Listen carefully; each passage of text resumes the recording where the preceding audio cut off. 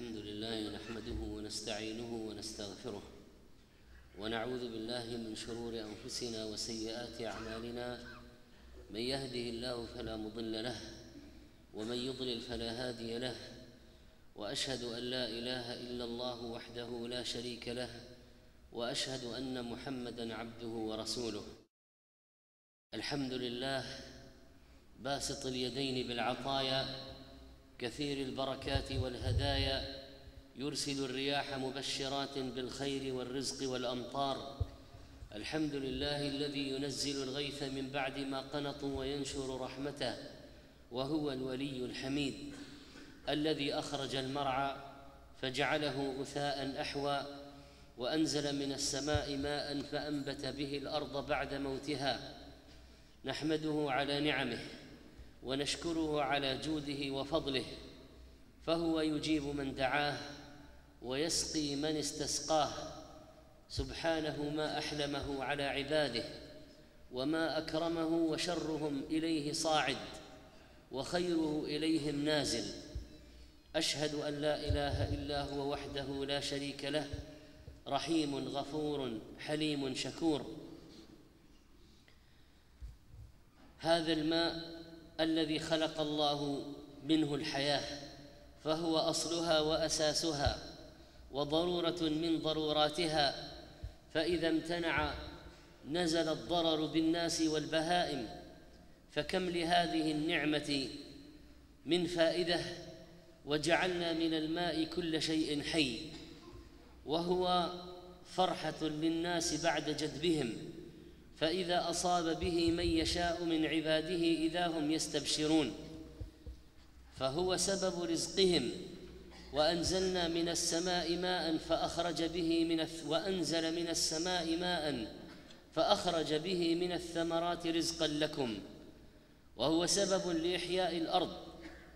وما أنزل الله من السماء من ماء فأحيا به الأرض بعد موتها. وهو سقيا للناس. هو الذي أنزل من السماء ماء لكم منه شراب وهو صحة الأجواء وطرد الأدواء وهو الغيث. ينزل الغيث من بعد ما قنطوا وينشر رحمته وهو الولي الحميد. وهو ماء طهور وأنزلنا من السماء ماء طهورا وهو مطهر وينزل عليكم من السماء ماء ليطهركم به. وهو بركة ونزلنا من السماء ماء مباركة. وهو عذب وجعلنا فيها رواسي شامخات وأسقيناكم ماء فراتا. يصب صبا من رحمة الله على عباده دون مقابل منهم. وأنزلنا من المعصرات ماء ثجاجا.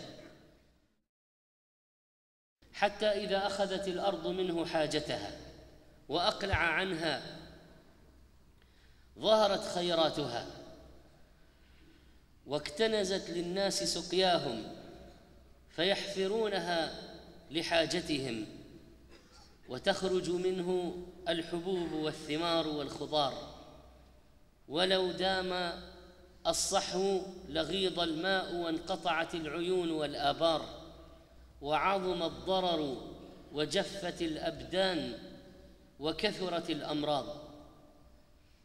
وهذا الماء يكون منه أيضا تارة أخرى عقاب وعذاب. عذب الله به اقواما فأغرق به قوم نوح. فكذبوا عبدنا وقالوا مجنون وازدجر. فدعا ربه أني مغلوب فانتصر. ففتحنا أبواب السماء بماء منهمر. وفجرنا الأرض عيونا فالتقى الماء ماء السماء وماء الأرض على أمر قد قدر. وعذب به أيضا قوم عاد. فلما رأوه عارضا مستقبل أوديتهم قالوا هذا عارض ممطرنا بل هو ما استعجلتم به ريح فيها عذاب أليم تدمر كل شيء فظنوه مطرا فإذا هو ريح عاتية. وأما قوم لوط فقد أمطر عليهم مطرا حجارة من سجيل. وأما قوم فرعون فقد أغرقهم في البحر فانطبق ماؤه عليهم. وأما سبأ فلما أعرضوا أرسل الله عليهم سيل العرم ففاض عليهم. فكلا أخذنا بذنبه فمنهم من أرسلنا عليه حاصبا ومنهم من أخذته الصيحة ومنهم من خسفنا به الأرض ومنهم من أغرقنا. فهذه الأمطار قد يهلك بها أقوام ويكون منها أمواج البحار العاتية المغرقة وكذلك الفيضانات والسيول التي تأتي على ما تأتي عليه فتبتلع ما يكون في طريقها. وقد كان في الشرع آداب لنزول المطر فإذا اشتدت الريح ينبغي أن يتذكر العبد عقاب الله فيسأله الرحمة. كان النبي صلى الله عليه وسلم إذا كان يوم الريح والغيم عرف ذلك في وجهه وأقبل وأدبر فإذا مطرت سر به وذهب عنه ذلك. فسألته تقول عائشة رضي الله عنها فقال إني خشيت أن يكون عذابا سلط على أمتي. ما يؤمنني أن يكون فيه عذاب. قد عذب قوم بالريح وقد رأى قوم العذاب فقالوا هذا عارض ممطرنا. رواه مسلم. وكذلك فإن النبي صلى الله عليه وسلم كان إذا رأى ناشئا في أفق السماء يعني سحابا لم يتكامل اجتماعه ترك العمل. وإن كان في صلاة ثم يقول اللهم إني أعوذ بك من شرها. فإن مطر قال اللهم صيبا هنيئا. حديث صحيح. ومن السنة التعرض للمطر بالبدن.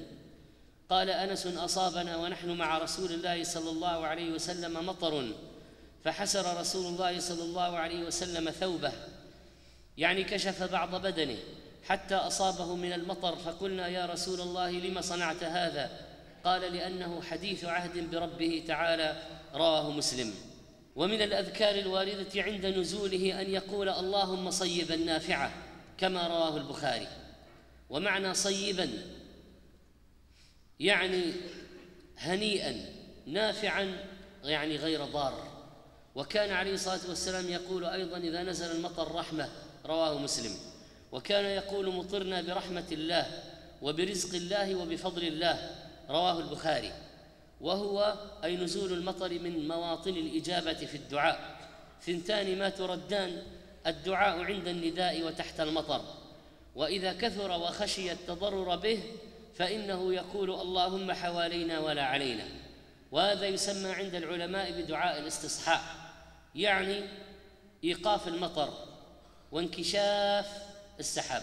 فتوقف المطر وانكشاف السحاب وإقلاعه هو الاستصحاء. ودعاؤه اللهم حوالينا ولا علينا. ويقول أيضا اللهم على الآكام يعني الهضاب والضراب يعني الجبال والآجام منابت الشجر وبطون الأودية منابت القصب وبطون الأودية ومنابت الشجر متفق عليه. اللهم حوالينا ولا علينا. اللهم على الآكام والضراب والآجام وبطون الأودية ومنابت الشجر. ولذلك لم يدعو برفع المطر مطلقا وإنما دعا بتحويله إلى غير أماكن الناس لأنها إذا نزلت عليهم فكثرت تؤذيهم فدعا أن يتحول إلى أماكن النبات ومستودعات المياه الجوفية.